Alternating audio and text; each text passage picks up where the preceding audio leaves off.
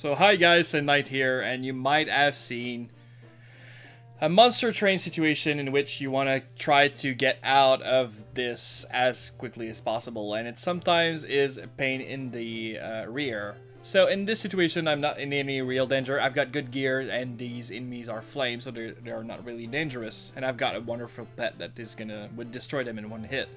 But let's reverse that and say this is two golems that are coming in into the corridor, and I'm in a bit of a pickle.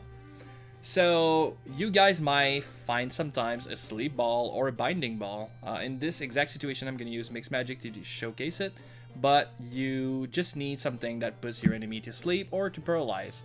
And you want to bait them and monster train them into a corridor that is one a square large. And once you're in there, what you want to do actually is use your fireball, your uh, paralyze ball, binding ball, or the um, sleep ball to paralyze one of the enemy monster once you're in there.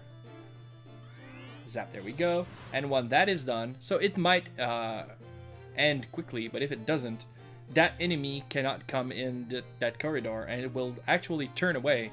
So there we go. And, oh, okay.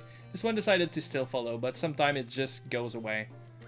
Um, so let's wreck him.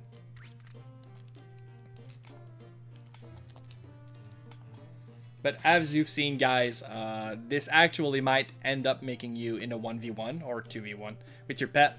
But it actually removed one monster from the equation. Uh, and this is actually can be life-changing. Uh, say, life-saving, sorry. See you guys. Thank you for watching.